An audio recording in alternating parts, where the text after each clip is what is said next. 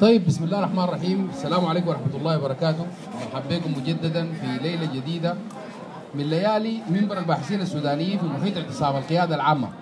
سقطت ما سقطت؟ سقطت ما سقطت؟ سقطت ما سقطت؟ يسعدنا يا شباب إنه يكون معانا واحد من الشباب المميزين محمد المجتبى المعتز خوجلي. وحيدينا محاضرة عن كيف تربح أموال من أمازون موقع أمازون دوت كوم. فنرحب يا اخواننا بالشاب محمد المجتبى ترحيب حار.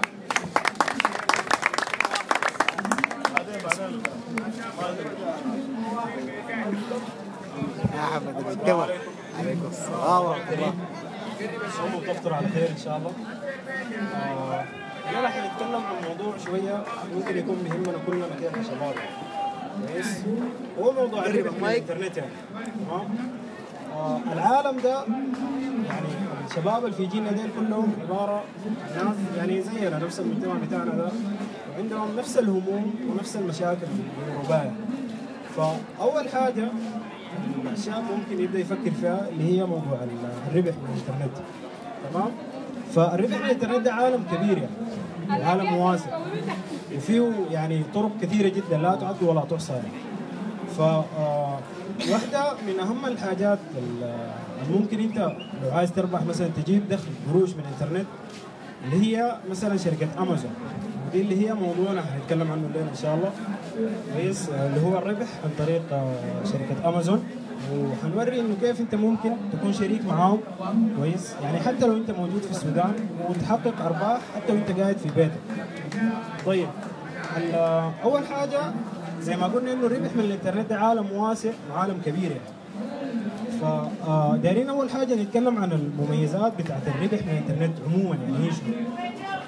آه الإنترنت عشان تربح منه أنت بيتيح لك كفرد وأنت قاعد في بيتك تتعامل مع أي مؤسسة وأي شركة يعني في في في كل أنحاء العالم تتعامل معاه تعامل تجاري مثلا. عرفتها؟ و- ويعني تكسب من وراء قروش تربح من وراء قروش. الكلام ده بيتم وانت قاعد في بيتك من دون أي مجهود من دون ما تحتاج إنك تت- تتحرك تمشي مكان العمل أو تبذل مجهود يعني. الميزة الثانية إنه بيمكنك زي ما قلنا إنه من العمل وانت متواجد في بيتك وبكنك بيمكنك من العمل وانت في اوقات فراغ يعني أنت ما بتحتاج إنك تكون مقيد بزمن معين. بدل ما انت مثلا في الشغل العادي إنك تطلع ب- من بيتك الساعة 7 الصباح وترجع الساعة 3 ممكن انت في أي لحظة متى ما حبيت إنك تشتغل وتجيب قروش كويس وتتحول لك في حسابك وتمشي تستلمها من البنك. فواحدة من المميزات برضو إنه شنو؟ زي ما قلنا ما معوض يعني للدراسة أو للعمل. يعني لو أنت طالب لو أنت موظف وعندك زمن معين وعندك يعني قيود معينة في أي وقت مهما تكون حابب أنت وقت تشتغل وتجيب قروش يعني. وانت قاعد في حتة. فبرضه بيعطوا الفرصة للأشخاص الذين لا يستطيعون التأقلم مع العمل الروتيني يعني أنت مثلا نفسها بتكون مثلا ما شاء الله الحمد لله بصحة وعافية بتقدر كل يوم تصحى الساعة 7 تمشي الدوام وترجع آخر اليوم. في ناس ممكن يكون عندهم ظروف ما سامحه لهم إنه يتحرك يمشي لحد محل الشغل ده. فهو ممكن يشتغل في بيته بدون ما يبذل أي مجهود يعني. برضه بيتيح الاطلاع وتنمية المهارات المختلفة. يعني أنت في الحالة دي لو أنت اخترت العمل على الإنترنت تتعامل مع ناس اجانب كويس؟ يعني ناس مثلا بيتكلموا لغات غير اللغة العربية؟ بيتكلموا مثلا فرنسية إنجليزية and so يعني فأنت بتحتاج إنك تنمي مهاراتك عشان تقدر تتعامل مع مع ال- الناس دي يعني. فدي هي مميزات العمل من الإنترنت هي طبعا كثيرة لكن دي أهم الحاجات اللي بتميز العمل عن الإنترنت طيب يعني إحنا قلنا اخترنا شركة امازون في آه في الندوه دي خصيصا ليه؟ يعني عندنا أسباب. طيب آه أول حاجة حناخذ مقدمة بسيطة لشركة امازون عشان الناس يعني تعرفها. وأكيد بتكونوا كلكم كده سمعتوا بها امازون dot com الموقع. كويس هي شركة أساسا هي موقع للتجارة الإلكترونية والحوسبة السحابية. تأسس سنة 1994 آه آه بواسطة جيف بيزوس مقر سياتل واشنطن مقر الشركة. تمام؟ ال- الشركة دي حاليا تعتبر أكبر مواقع البيع بالتجزئة تمام؟ يعني الفكرة العامة الناس ماخذينها مثلا عن امازون dot com إنت بتخش الموقع عندك حاجة معينة بتشتريها بيرسلوها لك لحد عندك بتمشي تستلمها. كويس؟ طيب ال- الشركة دي أكبر شركة من ناحية المبيعات والقيمة السوقية في العالم. كويس؟ شركة بيع وشراء بس. آه، مبيعاتها وصلت في سنة 2018 870 مليار دولار. في السنة اللي فاتت. دي طبعا ميزانيات بتاع الدول يعني. إن شاء الله نحن لما دولتنا دي تبقى مدنية بنصل للمستوى ده بإذن الله. فالشركة دي مرت شوية مراحل كده يعني معقدة. كويس. لأن في في الفترة دي لما كان البزنس صغير كده على قدر حالهم يعني كان الناس دي بيبيعوا كتب. بيعرضوا الكتاب وبيبيعوا لك أنت تمشي تشتريه منهم. عرفت؟ فبعد ذاك الشركة بدأت تتطور شوية شوية كده. لحد ما عملوا بدوا يفكروا إنهم يعملوا شركات لنفسهم. فبطلوا بيع الكتب وباعوا ثاني مثلا حاجات صغيرة زي الملابس المجوهرات الإكسسوارات الحاجات دي يعني. الكلام ده الزمن ذاك يعني. آه بعد كده قاموا فكروا فكرة إنهم يا أخي نحن ممكن بدل ما نحن نشتري منتجات من مصانع ومن جهات ثانية نحن ممكن ننتج بنفسنا ونبيع للعالم. فقاموا عملوا حاجات زي امازون بيسك اللي هي أساسا شركه صغيره تابعة لهم. مصنع بينتج حاجات بسيطة زي الكابلات ال USB الوصلات حاجات صغيرة الذواكر يعني حاجات صغيرة جدا. ودي كانت بداية لهم بداية انطلاقة لهم. يعني.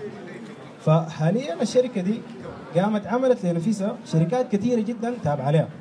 وماشية بنفس النظام بتاع إنه أنا بدل ما أشتري الحاجة من مصدر ثاني وأبيعه يعني باعتبار الفهم القديم للتجارة انه انت بتمشي تجيب مواد وبتبيعها على ال- الزبون والمشتري فقاموا بيعملوا في المصانع والمشاريع حقتهم دي بنفسهم. عشان كده قدروا يوصلوا لمرحلة ال 870 مليار دولار.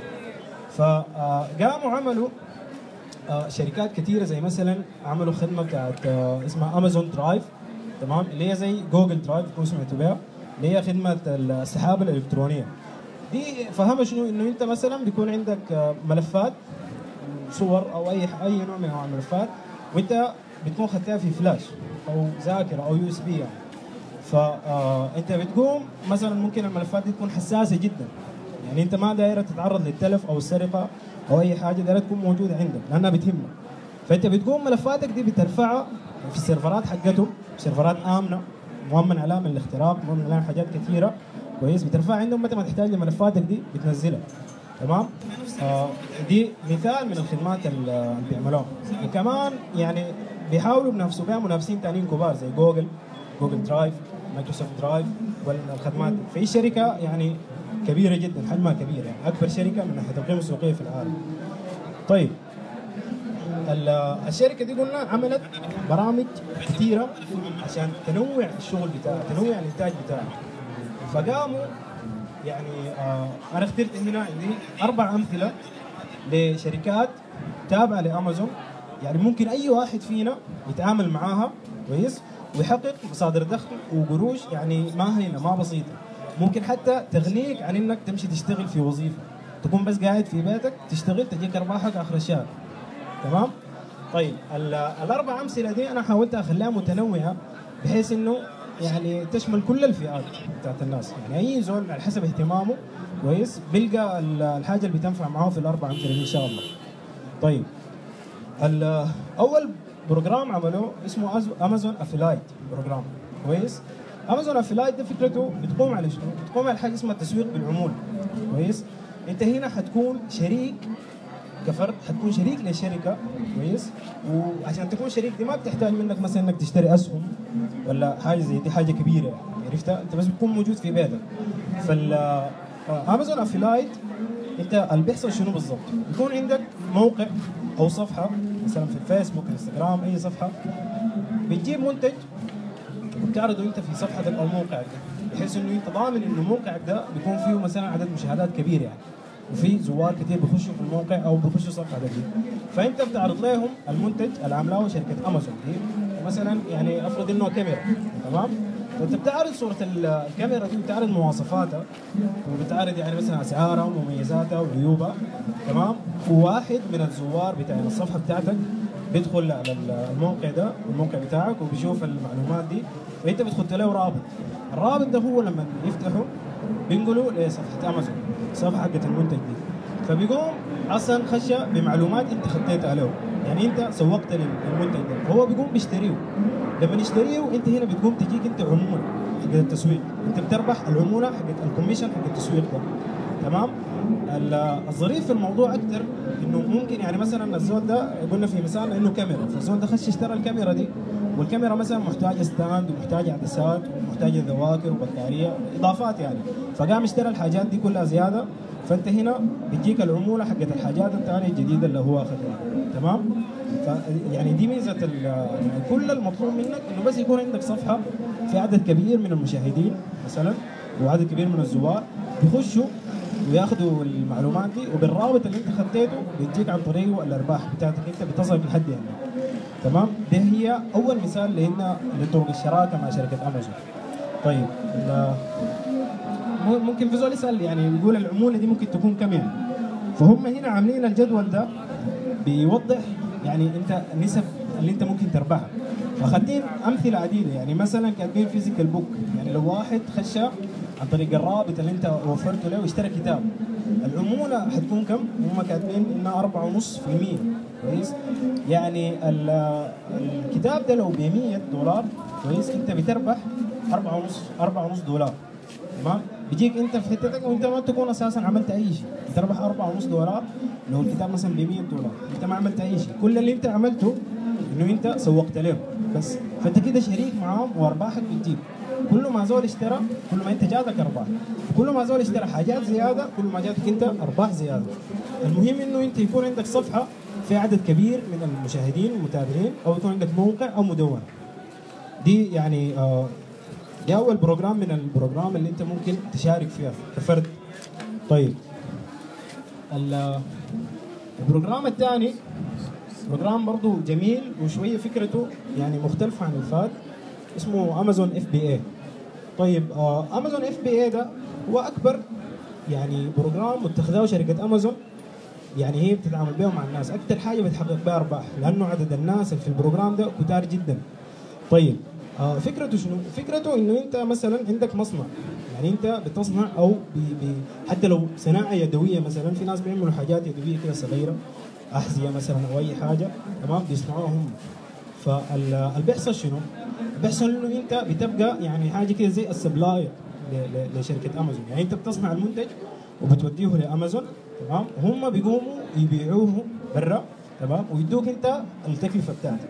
يعني أنت لو اخذت المنتج ده بسعر معين هم بي بي بي بي يعني بي بيعرضوه على الناس تمام؟ بيعملوا له دعاية وبيبيعوا لك. عكس شنو؟ عكس الأول عكس امازون affiliate صح؟ طيب لما أنت تقوم تعمل الحاجة زي دي يكون عندك زي خيارين. إما أنت يكون عندك مثلا مخزون يعني عملت مثلا بزنس كبير وعملت مخزن قدرت تبيع بيه ال- البضاعه حقتك دي كويس؟ فأمازون بتيجي لما أنت تبقى شريك معاه بتتكفل بإنها تشيل المنتج ده من عندك وتغلفه وتشحنه وتوصله لحد العميل وتديك أنت قروشك. من دون ما أنت تضطر إنك تدفع تكاليف الشحن تدفع تكاليف التأمين تدفع الضرائب تدفع الحاجات دي. فهي يعني انت بما انك شريك هي بتقاسمك في الشغل وبتقاسمك في الربح. انت هنا لكن الربح الاكثر حيكون عندك انت لأنه انت صاحب صاحب الحاجة. انت اللي انتجت المنتج. طيب الخيار الثاني انه أساسا الشركة دي يعني قلنا شركة كبيرة جدا يعني فعندها مخازن كثيرة جدا حول العالم. فأنت بما إن أنت بتصنع حاجات بتصنع يعني tool أدوات أي حاجة بتصنعها ممكن أنت توديها لهم لحد المخازن مخازنهم دي. كويس؟ وكل ما يطلبوا منك كمية أنت توفرها لهم تمام؟ هم يقوموا يبيعوها بمعرفتهم بالجملة مثلا أو بالتجزئة تمام؟ وأنت هنا أرباحك بتجيك لا أنت برضه بتدفع تكاليف شحن ولا بتدفع تكاليف توصيل ولا تأمين ولا يعني after after payment يعني في تكاليف كثيرة أنت المفروض تدفعها هم بيدفعوا عنها وبيدوك النسبة بتاعتك. ده كله وأنت من دون ما تبذل أي مجهود تمام؟ النقطة دي طبعا بالنسبة قلنا لزول إنه مثلا ممكن يكون في زول عنده مصنع أو بينتج يعني بينتج حاجات فعلية تمام؟ وهو داري بيها. فهي بتسوق بتسوق لك المنتج بتاعك أنت بتربح التسويق والدعاية وبتبيعه لك وبتوصل لك أرباحك أنت لحد عندك طيب ال- النقطة الثالثة وقبل النقطة الثالثة هنا خدين جدول يعني شوية بيوضح إنه يعني أنت المنتج بتاعك ده لو اخترت مثلا إنهم يشحنوه لك بس. يعني يجوا ياخذوه من عندك ويشحنوه يودوه لحد الزبون. تمام؟ بيوضح لك ال- الأسعار حقتهم وكده فمثلا هنا ماخذين يعني كاتبين إنه السعر بتاعهم ده بيشمل ال- ال- الباكينج وال packing وال shipping يعني تفاصيل كثيرة يعني التغليف والشحن دي كلها بيشملها. بيدفعوها عليك هم. انت ما بتدفع. انت بس بتنتج الحاجة بتوديها لهم هم يتصرفوا بمعرفتهم يبيعوها طيب ال- النقطة الثالثة أو ال program الثالث أنا داير الناس شوية تركز لأنه احتمال ده أكثر program الناس يعني ممكن تبدأه هسه اللحظة دي وتطلع منه قروش. وهو برنامج يعني البرنامج جميل جدا وسهل أي زول ممكن يعمله في, في يبدأ فيه هسع يعني لو داير. طيب. اسمه Merch by Amazon Merch by Amazon يعني آه، فكرته شنو؟ لو لاحظتوا إنه بيكون في ملابس كثير كده بتاعت الجيل بتاعنا الحالي ده بتكون التيشيرتات اللي عليها تصاميم مطبوع. تمام؟ فال آه، انت كشريك لأمازون بت- بتصمم التصاميم دي تصمم التصميم تمام؟ وبترسله لك. بس انت قاعد في بيتك فتحت الفوتوشوب عملت تصميم لتيشيرت تمام؟ هم بياخذوا منك التصميم ده ويحطوه عندك. بيجي زبون بيفتح الموقع عجبه التصميم بتاعك بي آه بيطلب التيشيرت تمام؟ أمازون في الحالة دي بتقوم تعمل شنو؟ بتاخذ التصميم بتاعك. وبتنتج التيشيرت مثلا أو الملابس تمام؟ بتنتجها وتطبع عليها التيشيرت بتاع التصميم بتاعك وبتشحنه وبتوصله لحد الزول المشتري كويس؟ أرباحك بتقوم تجيك بالنسبة. يعني أنت عندك في التيشيرت ده الحق بتاع بتاع التصميم أنت صممته. هم مثلا أنتجوا ووصلوا لحد الزبون لكن أنت صممته. فأنت بيجيك القروش بتاع التصميم كويس؟ آه لو عايزين مثلا الناس بتستفسر عن الأرباح مثلا من الحالة دي في ناس يعني باعوا 25 كتاب أو 25 تيشيرت مثلا تمام؟ آه أرباحهم عملت لهم زي 40 دولار. ده من 25 تيشيرت بس دي 40 دولار. ممكن تتباع في يوم ال 25 تيشيرت لأنه الموقع عالمي وموقع كبير. حركه البيع بتكون كثيره جدا. فانت لو عايز مثلا تشارك في عايز تكسب من الموضوع ده كويس. أنا هحاول شوية أفصل فيه لأنه زي ما قلنا إنه يعني الناس كلها ممكن تبدأ منه هسه يعني ما ممكن ما ما بالضرورة إنه أنت تكون مثلا زول منتج أو عندك إنتاج عشان عشان تكسب قروش. فال ال- ده الموقع بتاعهم الصفحة بتاعتهم بس حتخش جوجل تكتب Merch by Google Merch by Amazon عفوا. آه، بتفتح الرابط بتجيك الصفحة دي. تمام؟ آه، عشان تسجل بس كل اللي عليك إنك تدخل username email و password أنت عملت التسجيل. خطوه التسجيل شوية أطول من كده طبعا. وهي معقدة شوية يعني كويس لأنه فيها موضوع بتاع تاكسس يعني موضوع بتاع ضرائب موضوع بتاع بنوك عالمية وكده. آه طيب الصفحة بتاعت التسجيل دي لو لاحظتوا أول بند فيها إنه بيطلب منك الدولة اللي أنت عايش فيها. تمام؟ آه بكل اسف طبعا لأنه نحن قاعدين في السودان. والسودان محظور.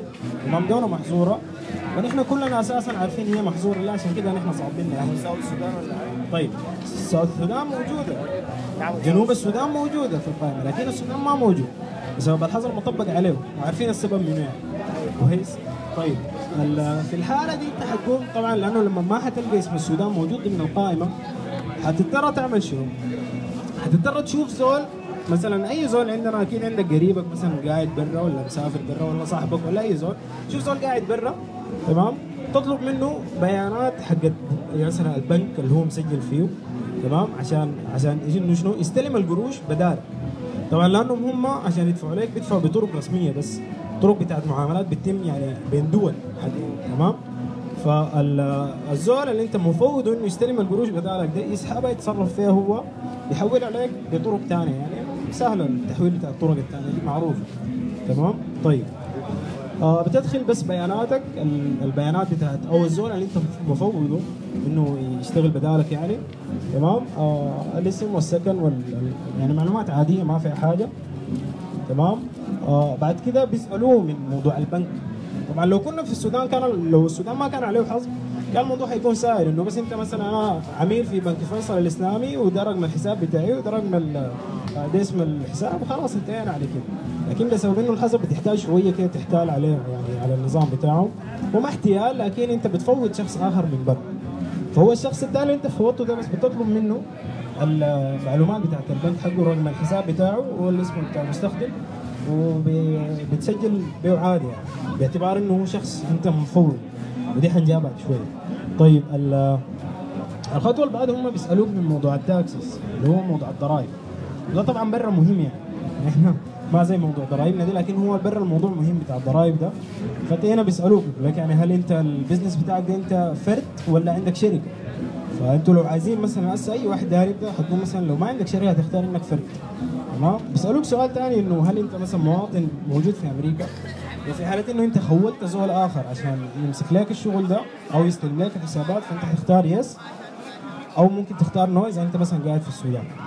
طيب بعد كده بتجي النقطة بتاعت الحاجة اسمها TIN اللي هي حاجة اسمها ضريبة الدخل يعني. فبيقوموا يحاولوا يتأكدوا من الدخل بتاع الزول اللي انت مفوض وإنه يستلم لك الأرباح بتاعتك.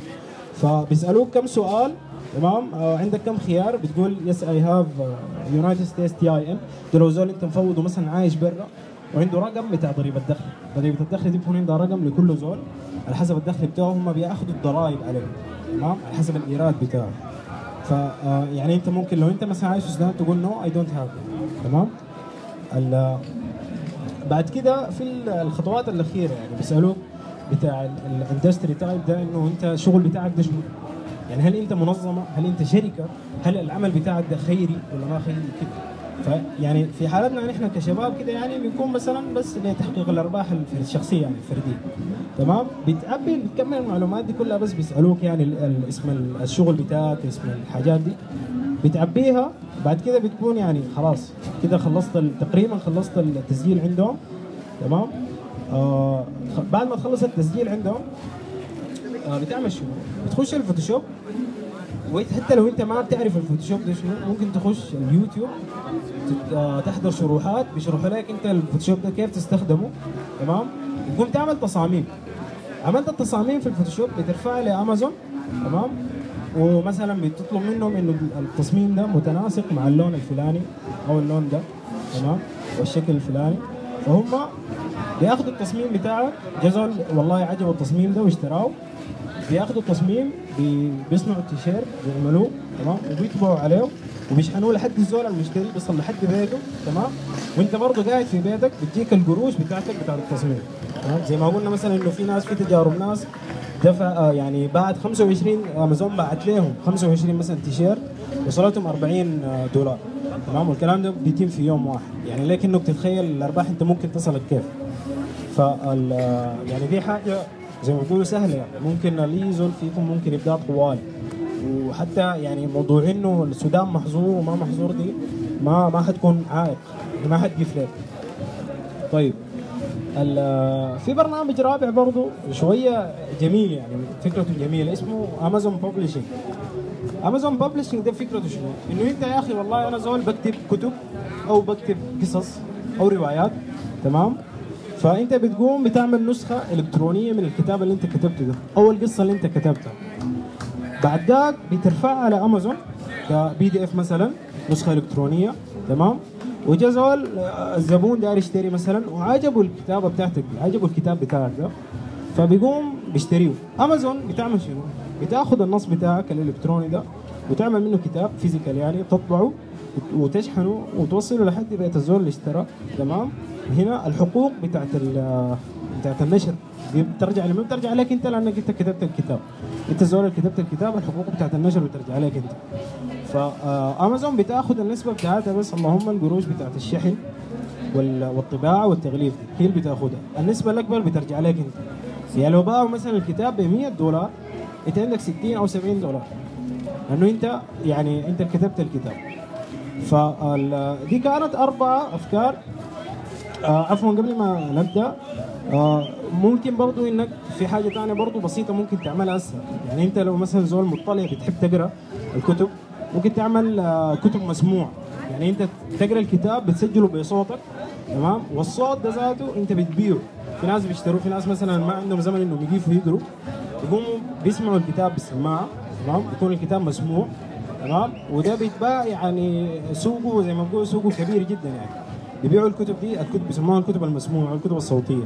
بس كل اللي عليك انك تقرأ الكتاب تسجله بصوتك تمام؟ وتر... وترسل لهم الصوت. أي زول اشتراه الأرباح هنا انت بتجيك كامله 100% لك هم ما بيشيلوا لو يعني انت اخترت الخطوة دي هم ما بيشيلوا عليك أرباح. الأرباح كلها بتجيك يعني لو انه الكتاب المسموع بتاعك قيمته 200 دولار ال 200 دولار بتصل لك انت. وب- بتنزل لك في حسابك. متى ما متى ما تمت حركة بيع طوالي بتنزل لك. يعني ارباح انت بتجيك مباشره يعني ما مثلا ما بتنت- بتنتظر لحد آخر الشهر عرفتها؟ عشان تتحصل على قروشك تمام؟ هي بتجيك بتنزل لك مباشرة متى ما تمت حركة البيع. يعني ما زي العمل الروتيني. إنه أنت مثلا اشتغلت وتستنى لحد آخر الشهر لحد ما شنو؟ المرتب ينزل لك وكذا لا هنا الموضوع مختلف. هنا في زول اشترى طوال أنت أرباحك بتجيك من دون أي تأخير. فدي يعني دي هي دي كانت فكرة عامة عن عن امازون وعن إنه أنت كيف تكون فيها شريك تمام؟ ويعني العمل من الانترنت طبعا مجال واسع تمام؟ هو يعني زي ما قلنا إنه الناس برا شوية بتحاول تتكل على المجال ده. يعني أنت هسه قاعد ما عندك موضوع يعني قاعد هنا صباح في القيادة من يوم 6 تمام؟ ممكن من يوم 6 لحد هسه يوم كم 20 رمضان ممكن تكون عملت 1000 دولار براها أنت قاعد ما عملت أي شيء شغلك ماشي في شريكك اللي هو الشركة الكبيرة اللي اسمها امازون بتبيع لك وبتمشي لك شغلك. انت بس بيكون عندك حقوق معينة أرباحك بتنزل لك لحد لحد عندك. وشكرا جزيلا وإن شاء الله الناس تكون استفادت. ولو أي سؤال تفضلوا. وفي زول عنده سؤال. طيب شكرا جزيلا. السلام عليكم. مثال